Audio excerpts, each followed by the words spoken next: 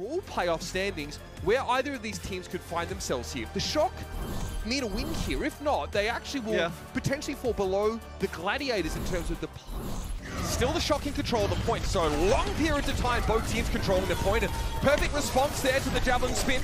Hardy gonna try and charge him, but takes a face full of damage now. The Discord Orb on one as well. Immortality field in play, it's gonna be removed by Admiral, who finds yet another kill. The Lucio is going absolutely wild. Hardy swinging for the fences here, able to get rid of Finn, and it's just Mikey on his own. Orisa, not nearly as scary when she's on her lonesome. Disrupted.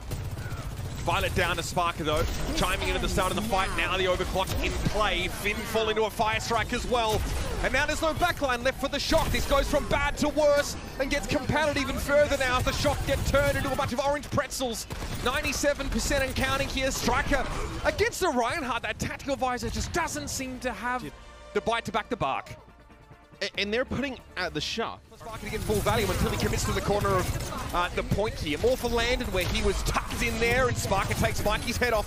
Huge high value kill on the enemy Winston there. He might be hacked but he can drop and look for the health pack. He's shut down though. Finn really standing tall on that Zen.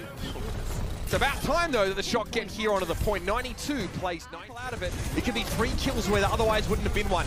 Here's that sound barrier, but Sparker doesn't get it at all, and Mike is able to take him down.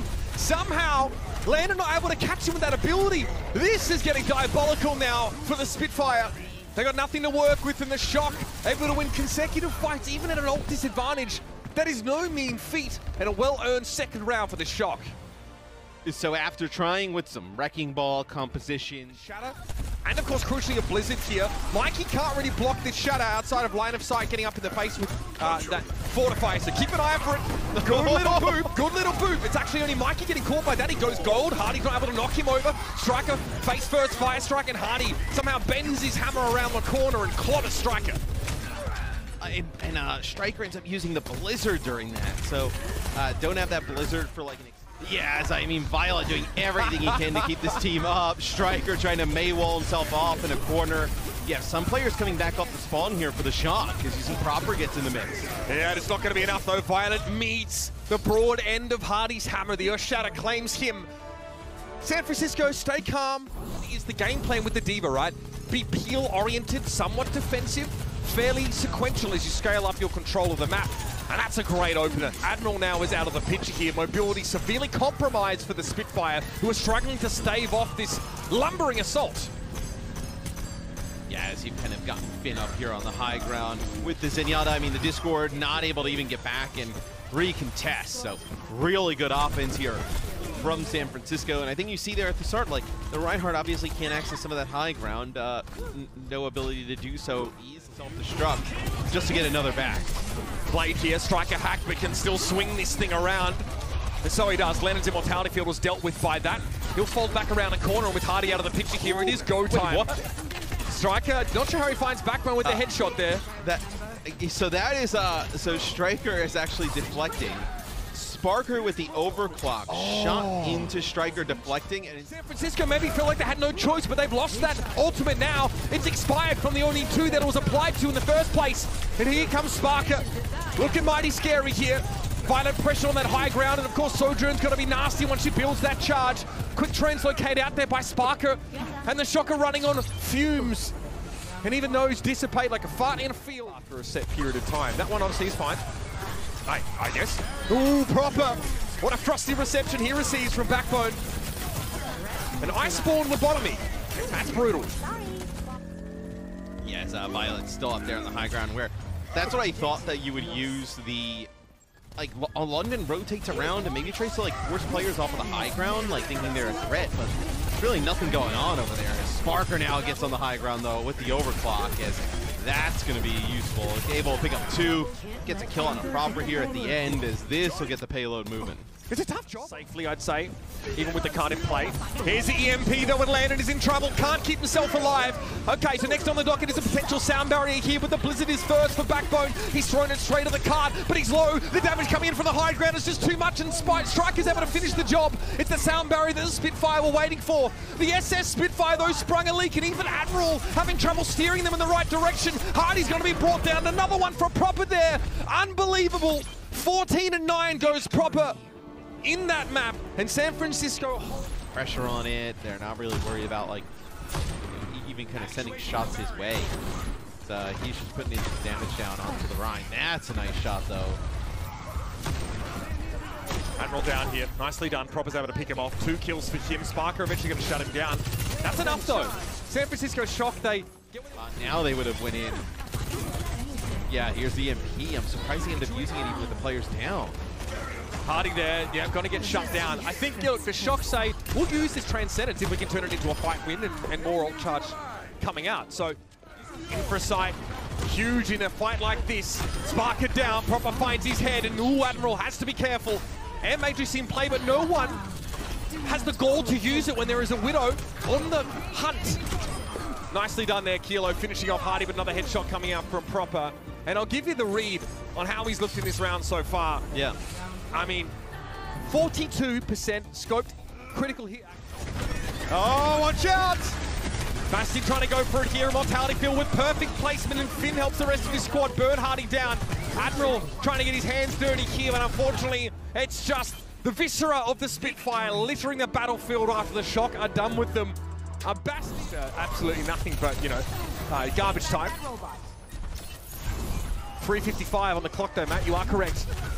Primal here. Can he catch Spark? Sparker? Kaluj opts not to invest any further. The Shatter comes in from Hardy. Kaluj doesn't have any swings with the Primal left to disrupt him, but his presence is enough to force Hardy away from that fight. And so there's no real follow-up on the Shatter at the end. Yeah, does this allow the Shock to end up taking the lead? And they still have some big ultimates to kind of get. Speaking of which, Robot is on the move. deflect the fire strike there. Blade came out, but very little to do with it. Instantly blown up as the EMP came in. The rest of the shock likely to get folded here, and they do.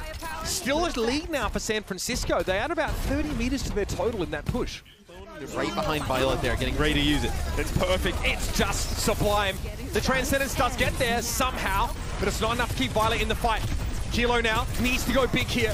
The Immortality Field, though, stands in his way, thumbing its nose at him, but he's able to pick Hardy off at the very least. Now he'll work around. Not, well, he's on the safe side of the Ant Matrix, but not the safe side of his own team. The Spitfire come forward, Matt, and you pointed out perfectly that EMP was the linchpin. Been enough. Immortality Field thrown down, but who's going to be? Oh! Papa's blade is shut down! That is a backbreaker here for the shock. They've lost all their key players now, and in overtime, the Spitfire get over the line. What a comeback in the final moments, and Proper gets absolutely blown to smithereens as the Spitfire into position. He's charging though, so trying to overcome that mobility limitation in lieu of Lucio. Pulse bomb here, the timing, perfect. Backbone emerges from his frozen chrysalis into an explosion. Yeah, pretty good percentage here though, game uh, by London. Gonna get up to about 70%. Everything fell apart when they lost Admiral at the start. Plays for the Spitfire. That'll be topped up nicely. Still waiting for Striker to find blood. Finn going down first is Landon. He's given enough space to find a key kill across the map here. I mean, it's too late here for Striker, honestly. Just the one elimination is Hardy. And now he has to face the entirety of the London Spitfire. Just not enough, Matthew, as London outlasts the shock here in this first round.